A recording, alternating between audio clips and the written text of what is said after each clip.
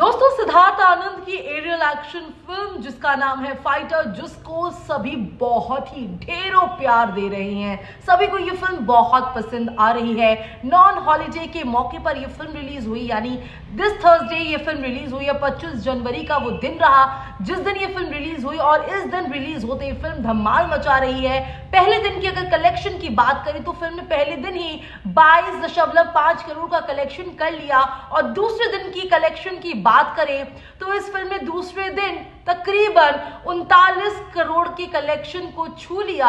और अगर हम तीसरे दिन की बात करें तो तीसरे दिन का कलेक्शन भी तकरीबन 77 करोड़ के आसपास रहा। तो कुल मिलाकर इस फ़िल्म ने 100 करोड़ के आंकड़े को टच करते हुए आगे बढ़ चुकी है। और अब अगर हम बात करें फ़िल्म की तो ये फ़िल्म जो है वो 250 करोड़ के बजट में बनी है।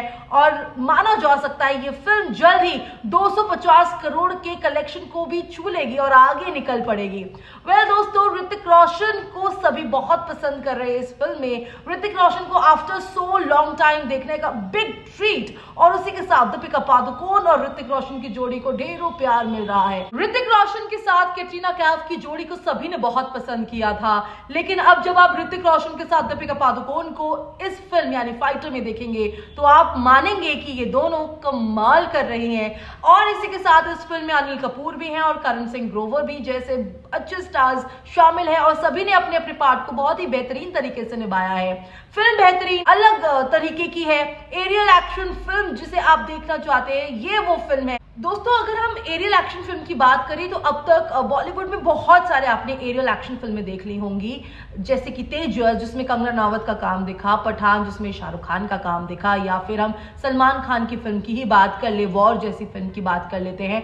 लेकिन जिस तरह से ऋतिक रोशन की इस फ़िल्म ने धमाल दिखाया जिस तरह से अलग तरीके से जो एक प्रॉपर एरियल एक्शन फ़िल्म अगर आप देखना चाहते हो, अगर आप बॉलीवुड का प्रॉपर एरियल एक्शन फ़िल्म देखना चाहोगे तो ये फ़िल्म बेहतरीन होगा आपके लिए, साबित होगा ये।